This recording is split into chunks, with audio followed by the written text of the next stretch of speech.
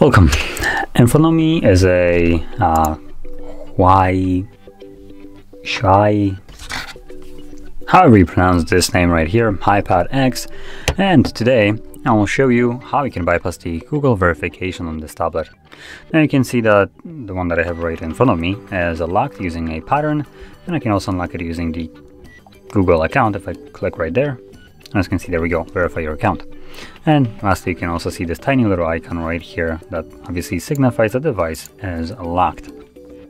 So anyway, to get started with the bypass, uh, you want to number one, connect to some kind of network. I have already done so, as you can see, based on the tiny little icon next to the battery. If I back out, you will be able to see it right here that I'm connected. So once you connect to your Wi-Fi, go back to the first page. And from here, you will want to select the emergency call, emergency information, tap on the edit icon right here, and select add contact. Tap on the search bar and this will bring up right here your keyboard and you want to click on this microphone that is part of the keyboard. Now it should show you uh, this kind of uh, little here uh, page, uh, allow a Gboard to record audio. You want to select deny.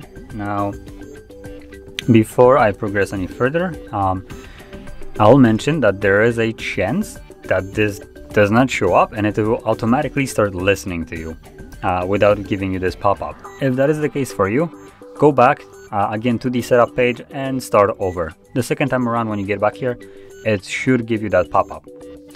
So again, we're gonna do that once more, tap on a, a little icon right there, and then we're gonna select deny and don't ask again.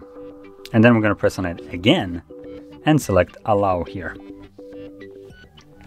As you can see, this opens up a app info page right here. So what you want to do is tap on permissions and you want to click on the search and you will type in settings.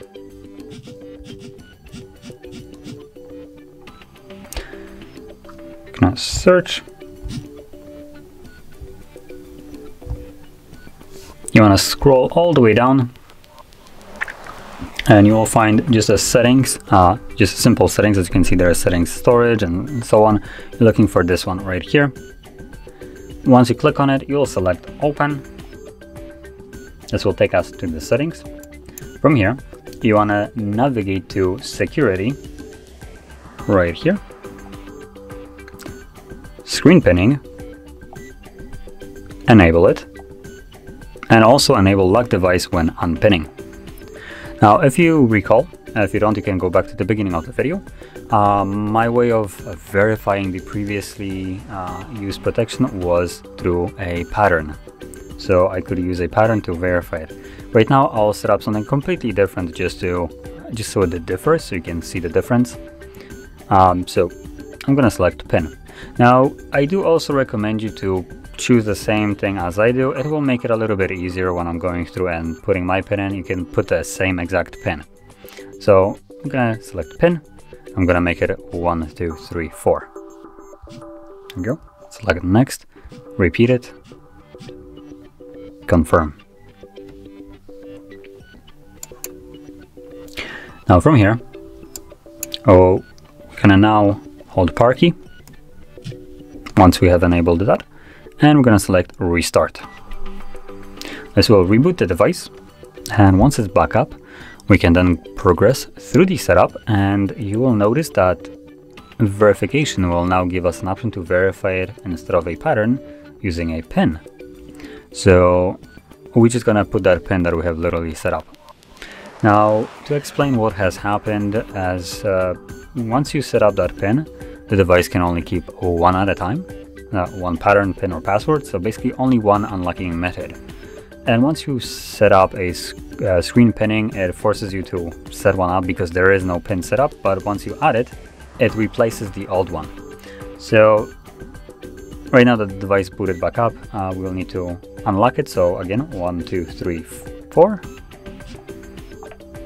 and we can progress through the setup.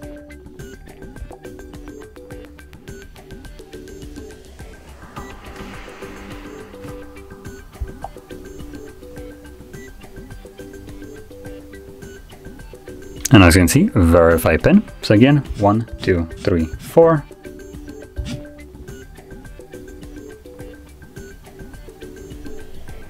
And there we go.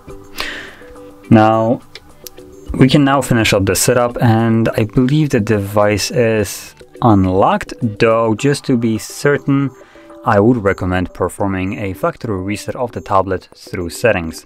This will ensure that uh, all the old stuff that might have been kept on this device will be removed. So to do so, you just simply navigate into your settings application, navigate to System, Advanced, and then Reset Options, and you will select Erase All Data Factory Reset.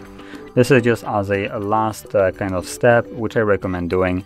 You don't have anything on here, so doing this is just a kind of like a additional step just to make sure uh, that everything is fully unlocked to remove any kind of potential problems in the future. Um, but like I said, I think the device is unlocked, though I still recommend going through this through this process right here, uh, just to kind of make like absolutely sure that everything is unlocked. Now obviously this will go through the factory reset which takes a couple minutes and then you will be back in the setup screen, at which point you will be able to set up your device however you like. It will be fully unlocked at that point. So anyway, that being said, this is how you could bypass the Google verification on this tablet, and if you found this very helpful, don't forget to hit like, subscribe, and thanks for watching.